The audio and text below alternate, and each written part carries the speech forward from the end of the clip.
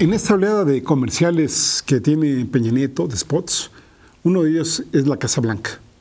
La semana pasada comentamos en este programa la nueva versión de Peña Nieto respecto pues, a esta casa, su negativa a reconocer el conflicto de intereses que significa que él y su familia estuviesen justamente, pues, ahora sí que en un espacio físico de al menos 7 millones de dólares que está en nombre de uno de sus contratistas más cercanos, al que, pues además de otras obras que se le habían entregado cuando Enrique Peña Nieto, cuando fue gobernador del Estado de México, pues ya como presidente también, presidente de la República me refiero, también le dieron muchísimas obras, me estoy refiriendo al grupo IGA y otros empresarios.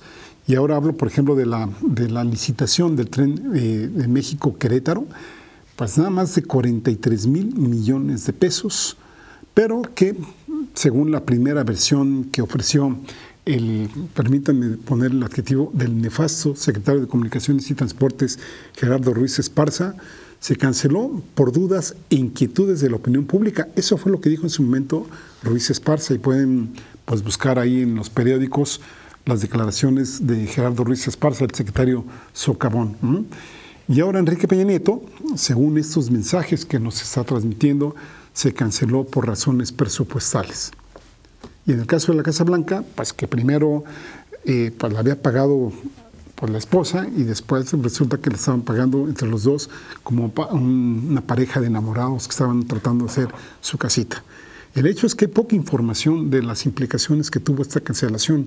Por ejemplo, en el caso de China, ¿no? ¿Cuántos millones de dólares está cobrando o no sabemos si ya se le pagaron?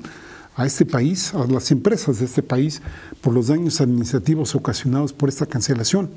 De verdad que este asunto aún permanece en la mayor opacidad.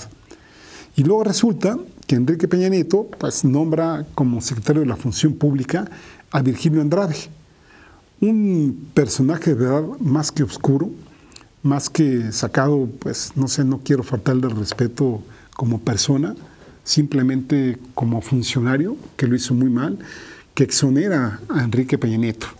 Casi, casi ahí podríamos decir que fue una versión del Comes y te vas. ¿Se acuerdan que le arrestó Fox al presidente cubano, a Fidel Castro? Pues aquí fue casi, casi me exoneras y te vas. Un informe, de verdad, que parecería ser hecho de nivel de escuela primaria, y lo digo con todo respeto para los estudiantes de primaria, de muchísimo volumen, como se habla de 60 mil fojas, y muy poco contenido.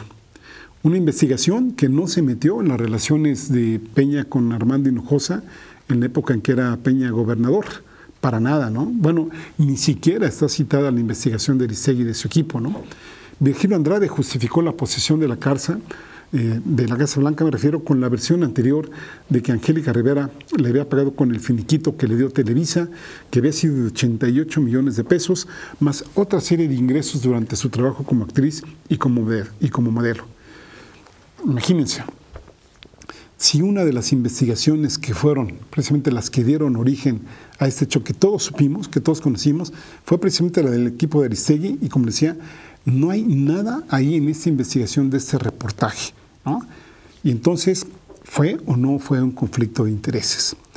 Es más, en sus primeras referencias, por ejemplo, de este informe de 60 mil hojas, las únicas a las que hacen alusión es un periódico que anda circulando por ahí, bueno, que circula, que se llama 24 horas, que vayan ustedes a saber quién lo financia y qué intereses tiene. Virgilio Andrade no corroboró tampoco lo dicho por Angélica Rivera en cuanto a sus declaraciones de pago de impuestos. ¿Realmente eso fue lo que recibió? ¿Qué sucede? ¿Qué está detrás de esto? ¿no? ¿Eso era realmente lo que ganaba? Y ahora Peña Nieto, les decía, nos trata de convencer de que la compraron juntos y que el único error que hubo ahí fue haberla mandado al ruedo, es decir, a pues, anunciar que la había comprado con el producto de su trabajo. ¿Ustedes de creen? Ahora sí, como dirían, yo tampoco. El otro tema importante, nos parece, es el de Yotzinapa. Están por cumplirse cuatro años, 26 de septiembre, y Enrique Peña Nieto asume la verdad histórica la de Murillo Karam, como única. No debería de hacerlo, de verdad que no. No, no, ya, bueno, ni le hubiera tocado el tema, porque le está, está removiendo nuevamente en la dispero.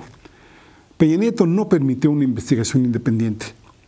La investigación la llevó tiempo después, semanas después, la PGR al frente de Jesús Murillo Caram y que estuvo operada por personajes como Tomás Cerón de Lucio, que fue el que estuvo manipulando muchísimas pruebas, se cometieron múltiples irregularidades, el equipo torturó a testigos, bueno, a personas, van a saber quién realmente sí participó y quién no. Les decía, un aspecto muy importante es la no protección de pruebas, la manipulación de las mismas. El ejército mexicano no permitió que el grupo independiente de expertos internacionales entrevistara, por ejemplo, a los soldados del 27 Batallón que estuvieron ahí esa noche. Se entorpeció su trabajo lo más que pudo y no es posible que bajo las condiciones y el lugar en el que nos quieren hacer creer que quemaron a los estudiantes, los hayan podido reducir literalmente a polvo. Lo que científicamente no es posible es totalmente inverosímil. Imagínense ustedes pues como una especie de talco, como para que la gente pueda llevar pues, sus restos en una bolsa y ponerlos en un río. Por supuesto, este mensaje de Enrique Peña Nieto es otra agresión. Es una nueva ofensa a las propias víctimas, a sus familiares y al país. La PGR, como les decía, no atrajo desde un principio esta investigación y luego, y luego Enrique Peña Nieto, según es cuando nos dijo, ya supérenlo, ya denle vuelta a la página. Ahora nos dice que ante la negativa y el rechazo por aceptar los alcances de la investigación de la PGR, donde nos dice Peña Nieto, había evidencias claras y contundentes, eso no es cierto. Dice, de que muy lamentablemente los 43 jóvenes habían sido incinerados por, grupos, por un grupo delincuencial, fue necesario abrir la investigación a, una, a la de la Corte Internacional de Derechos Humanos para que sus integrantes conocieran la investigación. Sí que conocieron la investigación de la PGR y sí que dudaron de ella. Y la que ellos mismos realizaron, las de la, por ejemplo, del grupo independiente, bajo qué condiciones lo hicieron. Y con todo y todo, los resultados de este grupo independiente y del equipo argentino de antropología forense también tuvieron resultados muy distintos a la verdad histórica. Hecho que eso no lo ha dicho Spot, no lo ha dicho Enrique Peña en su spot. En suma, podríamos sacar dos conclusiones parciales del caso Ayotzinapa, porque esto sigue, la investigación tiene que seguir adelante. Uno, muchos indicios de que se quiere ocultar qué fue lo que realmente sucedió ahí.